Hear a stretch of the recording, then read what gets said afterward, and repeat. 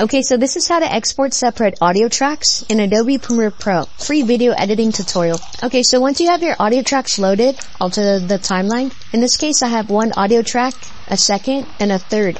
And let's say you want to export this audio track right here.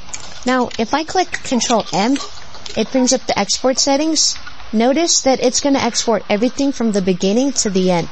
And that's not what we want. To export an individual audio track, go to the clip where you want to export.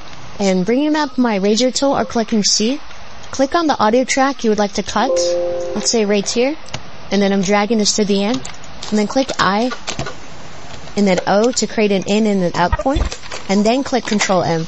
And then under the export settings, you notice the format is H.264. Click that, and then click MP3. Under the preset, Make sure it's the highest quality if you'd like, which is the third option.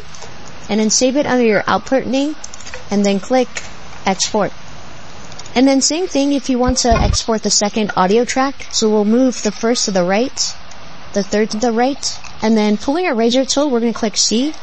Going to the beginning, we click I to add an in point, and then O to add an out point, and then Control M.